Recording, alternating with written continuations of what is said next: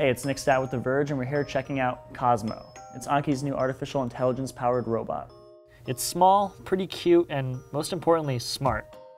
Cozmo is powered by some of the most advanced AI to ever find its way into a consumer product. One of the coolest things Cozmo can do is play games. Anki developed a whack-a-mole style exercise where you try and beat Cozmo at tapping one of his cubes when two of them light up with the same color. It can also learn from its experiences with you and improve over time. Eventually, it'll unlock new games and other skills. Cozmo's blocks are more than just toys, too. It uses pattern recognition to identify the symbols on each side. That helps it orient itself within the environment. Anki has big plans for Cozmo down the line.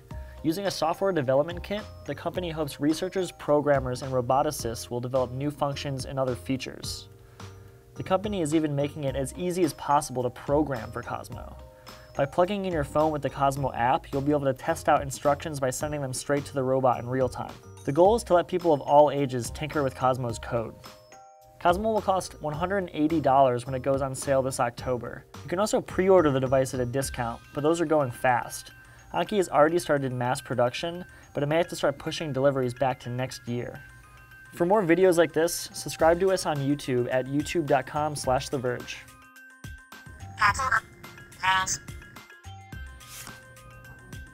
Just like moves his eyes.